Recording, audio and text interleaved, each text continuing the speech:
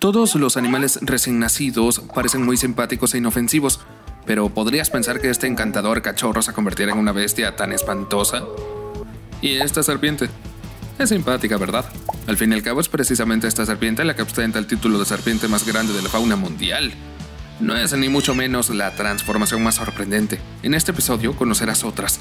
Esto es Pince Inteligente. Hoy te mostraré el aspecto de distintos animales antes y después de crecer. Y empezaremos con una serpiente tan mona. Para mi sorpresa no causa miedo en absoluto. Todos estamos acostumbrados a que las serpientes sean algo enorme, horrible y que da miedo. Pero ¿se puede decir lo mismo de nuestra belleza? En mi opinión no. No en vano dicen que no se puede juzgar a una serpiente por su aspecto. No pasará mucho tiempo antes de que esa cosita crezca y se convierta en la serpiente más enorme de toda la fauna mundial.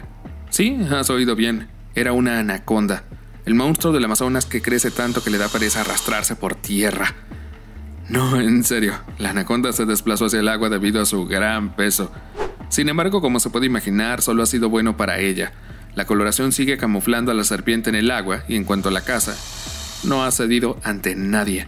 La serpiente espera hasta que la presa aparezca ante ella. Después, mata bruscamente a la víctima de un claro tirón. Si a alguien le interesa saberlo, la anaconda come literalmente todo lo que ve no es muy exigente con lo que come. Debido a su tamaño y peso, existen leyendas de que también ataca a las personas, pero me apresuro a asegurarles que no es más que eso. Sus mandíbulas no pueden estirarse tanto como para devorar a un hombre de tamaño medio, y la anaconda no tiene veneno, por lo tanto, no hay nada de qué preocuparse. Lobero irlandés. No sé tú, pero yo no pensé definitivamente en esta criatura cuando oí un nombre de raza tan aterrador e inusual. A mi entender, el lobero irlandés es alguien enorme, cubierto de pelo, enfadado, agresivo y que no perdona los errores. Definitivamente no estos lindos perritos. Aunque, espera, creo que ya he descubierto por qué se llaman así. Es porque los perros lindos crecen hasta convertirse en los gigantes que mencioné al principio. El Irish Wolfhound es uno de los perros más grandes de todo el mundo y una razón por la que en el pasado se utilizaban para la caza mayor, como lobos y ciervos. Tienen un aspecto muy asustadizo y duro, 80 centímetros de altura a la cruz y más de 50 kilogramos de peso, desgreñados y con un aspecto espeluznante. En resumen, dan escalofríos. En todo su esplendor, parecen lobos de verdad, o una especie de hombres lobo. Cualquier persona adecuada se mantendría alejada de ellos. Y para nada, la naturaleza nos ha engañado una vez más. En el fondo, los Irish Wolfhounds son animales muy dulces, apacibles y de buen carácter Curiosamente no siempre ha sido así. Cuando esta raza se crió por primera vez, su esencia interior complementaba a la perfección la visual. Eran perros grandes y formidables que la gente tenía delante, servían fielmente a sus amos. Como ya he dicho, se utilizaban para cazar lobos y ciervos, y lo hacían con mucho éxito. Estos perros poseían una velocidad y una ferocidad increíbles, así como ir hacia el adversario. Gracias a estos tres factores, los loberos irlandeses eran capaces de cazar a cualquiera con mucha facilidad. A pesar de ello, la popularidad de tan maravillosos perros fue decayendo paulatinamente. En el siglo XVII empezaron a caer en el olvido. La razón era sorprendentemente sencilla. Había mucha menos caza que cazar. Por lo tanto, no había necesidad de mantener un asistente tan grande. Los galgos quedaron solo en manos de los ricos, aunque pronto desaparecieron. Y entonces me preguntarás, ¿a quién vemos ahora? Se trata de la población moderna de perros lobo criados por aficionados. Según su líder, no era posible criar una raza perfectamente pura, así que fue moldeada literalmente a partir de todo lo que caía en sus manos. Galgos escoceses y rusos, perros alemanes e incluso raros perros lobos tibetanos. Aunque a quién de la gente corriente le importa. Lo principal es que el perro resultó ser una copia exacta de un auténtico Irish Wolfhound.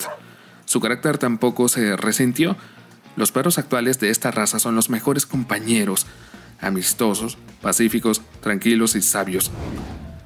Si fueran más pequeños, me compraría uno enseguida, pero mientras tanto prefiero contentarme con un mini tiburón que con ese perro tan grande. Pensarás que estoy loco como ¿a quién le gustaría un tiburón? Te diré que a mí sí, al menos este que ha llegado a la orilla no parece un caníbal. Parece bastante simpático e incluso inofensivo excepto que clásicamente no hay que fiarse de la apariencia de una criatura joven. En cuanto este tiburón crezca, se convertirá en un gigantesco e increíblemente peligroso tiburón martillo. Para que entiendas lo enormes que son estos depredadores, la longitud máxima registrada de uno de ellos fue de 6,2 metros. Estos peces viven en aguas tropicales y templadas cálidas de todos los océanos. Viven en solitario y cazan todo tipo de crustáceos, peces, cartilaginosos, cefalópodos y, sí, los científicos dan crédito, también otros tiburones. Los ojos del tiburón martillo están situados en los bordes.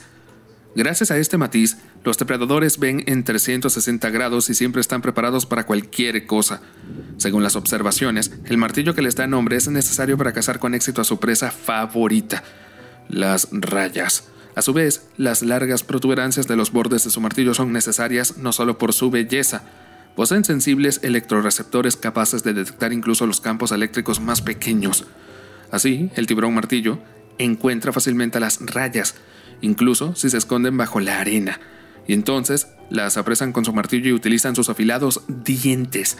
La supervivencia es, por supuesto, imposible.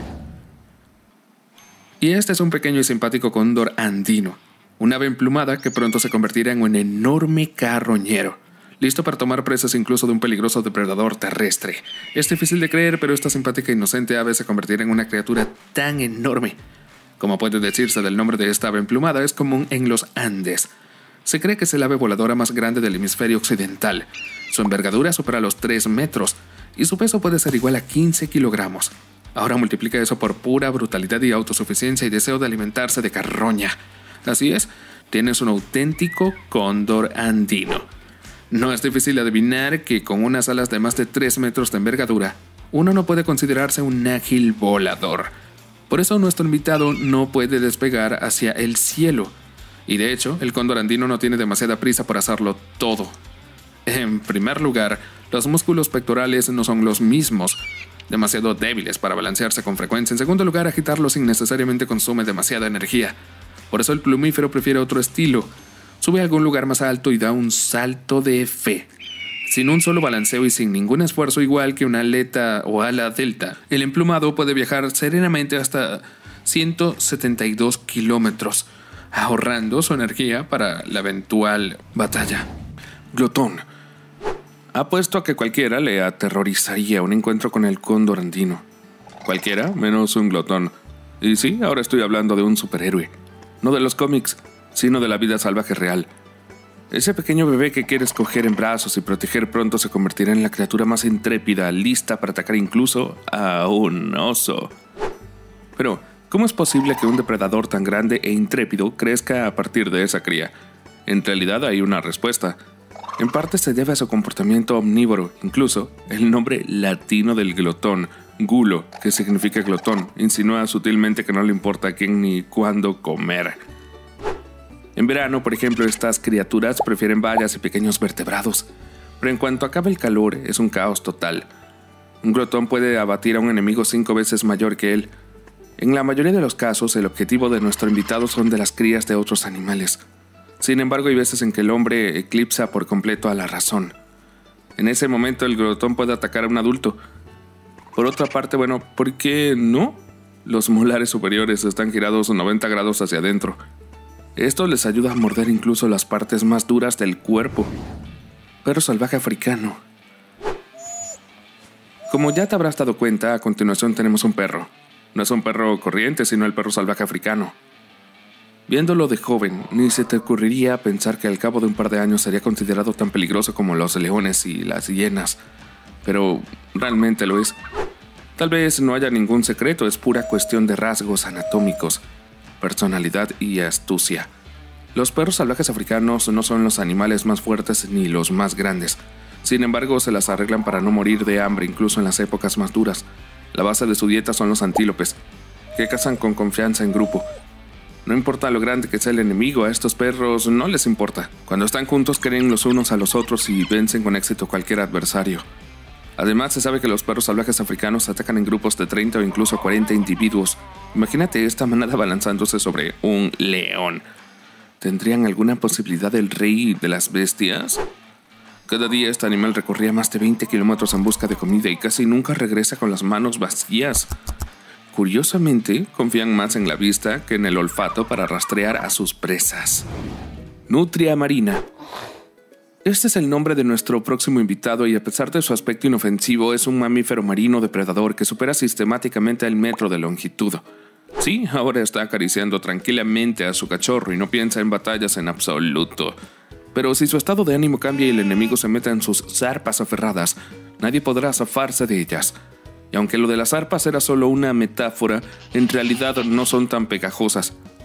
Sin embargo, es realmente difícil zafarse de las manos de la nutria marina. Se trata de sus fuertes dientes que utiliza para hundirse literalmente en sus enemigos. A pesar de ello, las nutrias marinas no tienen prisa por desafiar a la primera persona que encuentran. Como dicen los científicos, son bastante pacíficas. Quizá no lo sean por naturaleza, sino por las circunstancias que les rodean. El hecho es que cualquier herida recibida durante una pelea puede romper la cubierta de lana impermeable y, como consecuencia, provocar congelación. Debido a la falta de una gran capa de grasa, esto puede tener un desenlace letal. Por supuesto, tales riesgos son inútiles, por eso las nutrias prefieren comer erizos de mar, almecas y cangrejos. Es curioso, por cierto, cómo consiguen comida. Para ello, los animales se sumergen hasta el fondo, la recogen y la meten en una bolsa especial formada por el pliegue de la piel. Luego suben a tierra, se tumban de espaldas y empiezan a conseguir víctimas poco a poco, sin prisa, una a una. La nutria marina no empezará una nueva comida hasta que no haya terminado por completo la anterior. Oso hormiguero. Para ser sincero, nunca antes había conocido una criatura tan simpática e inusual. Y no, no hay que esperar una captura. Esta criatura es realmente muy mona, tanto de joven como de adulto. Como te habrás dado cuenta, se llama oso hormiguero. Es un mamífero cuyo elemento yo llamaría cavador. Cabe en la tierra y lo hace con mucho éxito. Cinco minutos y la zanja está lista. Y así lo hace cada noche y varias veces. Para bien o para mal, el oso hormiguero tiene pocas opciones. Debe llevar una vida así porque es la única manera de llegar a su alimento principal y más sabroso, las hormigas y las termitas. Para determinar la geolocalización de sus futuras víctimas, el oso hormiguero utiliza su leal nariz de cerdo que contiene bulbos olfativos. Más que ningún otro mamífero, los científicos afirman que en busca de sabrosas hormigas, el oso hormiguero puede recorrer hasta 30 kilómetros en una sola noche. Aunque no lo diré de otra manera. Es una noche, o en una noche el oso hormiguero puede matar 50.000 hormigas. Lo sorprendente es que semejante dieta no le aburre lo más mínimo. El animal come con éxito hasta 60 kilogramos, hasta 80 kilogramos de peso. Estoy seguro de que a algunos de ustedes el oso hormiguero les parecerá demasiado grande, pero créanme, si es así, significa que aún no han visto ninguna criatura realmente grande y una de ellas es sin duda el elefante marino del norte. Esta foca parece diminuta y adorable solo en el momento de su nacimiento y poco después, y luego este monstruo crece hasta superar las 3,5 toneladas y los 4 metros hasta los 5 metros de longitud. Su tamaño inmodesto va acompañado de un temperamento violento, poderosas mandíbulas y afilados colmillos.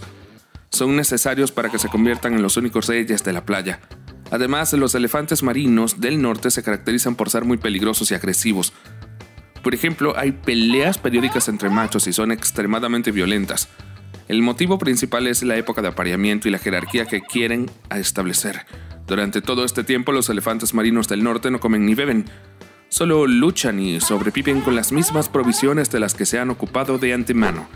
En el pecho y el cuello de los adultos se notan fácilmente muchas cicatrices de batalla y en consecuencia, cuantas más marcas, más experimentado y más fuerte es el individuo. Te sugiero que no te dejes llevar por estas temibles criaturas y que se decante por algo más simpático y amable. El mastín español, por ejemplo. Mira este cachorro. Es la personificación de todo lo que es bueno y amable en el mundo. Y así como se puede ver, hay truco. El mastín español solo es dulce e inofensivo de joven. En cuanto crezca, los genes se apoderarán de él y se convertirán en un perro luchador y guardián, que no está dispuesto a perdonar los errores.